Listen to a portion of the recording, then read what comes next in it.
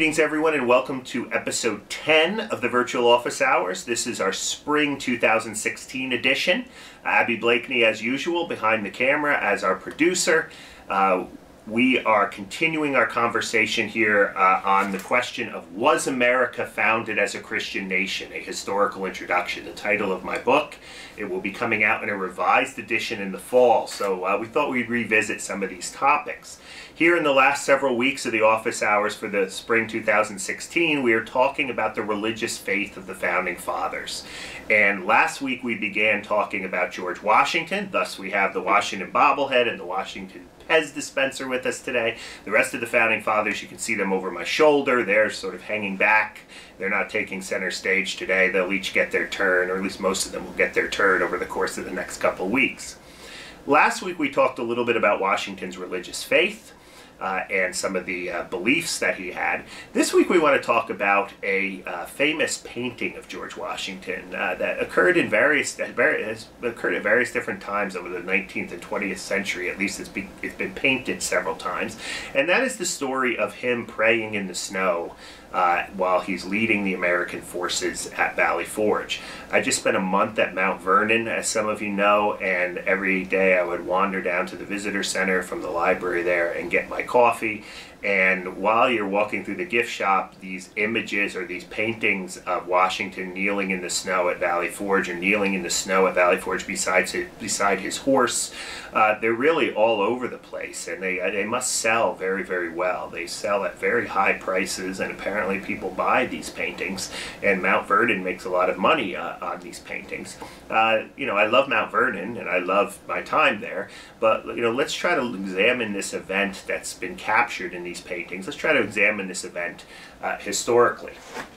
Now remember, it's uh, this painting, this this prayer, if you will, takes place in the winter of 1777-78. The Continental Army is facing one of its lowest points in the Revolutionary War. Uh, British soldiers under uh, General William Howe, they're in control of Philadelphia. Washington and his troops have just come off major defeats uh, at Brandywine and Germantown, and Washington has taken his army to Valley Forge, Pennsylvania, which is about 18 miles northwest of Philadelphia. Here, they're going to heal their wounds, they're going to prepare for the spring campaign. Now, the conditions at Valley Forge, as most elementary school students know, were not good. The army lacked the basic necessities of life. It was cold. Washington, you know, was struggling to keep the army together. Um, and as the army struggled through this Valley Forge winter, there was a local man named Isaac Potts. He was the owner of the house where Washington was staying.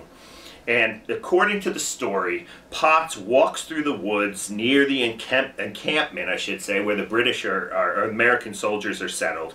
And he hears this voice amid a bower of oak trees. Now he realizes quickly that this is Washington's voice that he hears, and Potts, as the story goes, is a Quaker. Now, of course, as many of you know, Quakers uh, are opposed to war, but nevertheless, Potts is moved by the fact that this general is actually uh, praying. And when he sees Washington in prayer, he runs back home, according to the story. He tells his wife Sarah something along along the lines of, you know, this day I've, you know, I've seen, you know, what I've never thought I'd see before. Again, I'm paraphrasing here. Um, there in the snow, you know, was George Washington praying. He is a Christian. And uh, as the story goes, Potts, who was a Quaker, who was supposedly neutral or leaning towards the British during the war, uh, becomes a patriot and supports the American cause. Uh, that's at least the story that you often hear behind uh, these paintings of Washington praying in Valley Forge. Uh, and this paint, this story made it into 19th century school textbooks, McGuffey's famous readers. In 1866, a man named Henry Brueckner uh, recaptured this event in a painting called The Prayer at Valley Forge. And it portrays Washington again on his knees in the snow, praying to God, uh, again, supposedly on behalf of his army uh, and the American cause.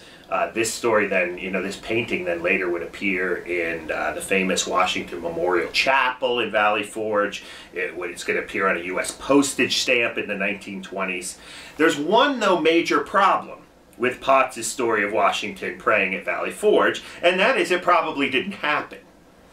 Now, in the 20th century, there's another uh, artist named Friberg who captures this story as well.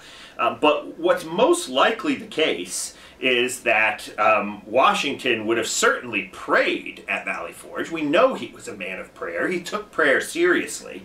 Uh, but whether or not he prayed in this specific moment, that is sort of up for debate. And the reason why it's up for debate uh, is that Potts uh, owned that house that Washington stayed at at Valley Forge, but it really uh, was, it belonged to, uh, at the time I should say that Washington was there, his aunt, Deborah Potts Hewes, was actually living there.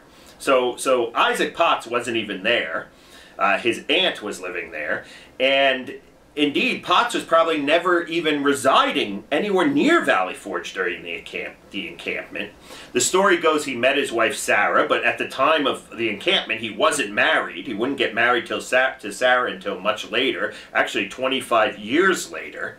Um, so there's all kinds of problems, uh, if you will, with this story. Uh, I elaborate them a little bit more in the book, but it's a story of how um, certain things are remembered. And when you want George Washington to serve as a kind of righteous leader of a Christian nation, uh, these stories are going to be very, very important to you. This story was first actually relayed by Parson Weems, Mason Locke Weems, the Anglican itinerant minister and bookseller who wrote a life of Washington. By the way, this is the same guy who talked about the story of Washington chopping down a cherry tree, right? So so it's interesting how these kind of myths get into the accounts. Now it's also worth saying here, as we're talking about Washington's religion, it's also worth saying, as I said a few minutes ago, that Washington indeed was a person of prayer. I'm sure he would have prayed at Mount Vernon. Uh, but whether or not he actually prayed in the snow and the Isaac Potts story um, is true, you know, that's a completely different matter. I think the painting, uh, the various paintings bring certain amount of inspiration but at the same time, uh, they represent uh, a kind of much more of a myth than reality. So I hope I didn't uh, burst too many of your historical bubbles uh, with this episode, but um, there you have it. Valley Forge's, George Washington's prayer at Valley Forge. We'll see you next time on the Virtual Office Hours.